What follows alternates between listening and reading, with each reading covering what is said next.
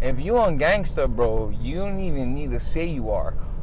Mm-hmm. You know what I mean? Like everybody's gonna know you a G. A G's a G. You don't have a G. Don't be telling anybody he's a G, bro. You just fucking are. Oh yeah, that, that's G, bro. G move. Like a fucking lion doesn't tell anybody he's a lion, right? It just fucking walks and it is.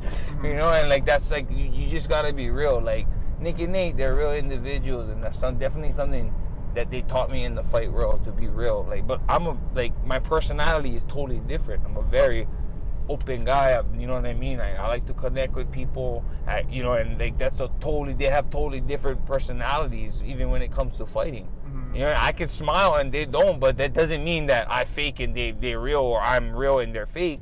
That's just how we that's how we operate, and they appreciate that I'm real about that. Mhm. Fucking yes, that's the fucking nice guy. Right. Nick's like Yancy's too Yancy's too nice. You know, like like, but they don't, but they appreciate that I'm real.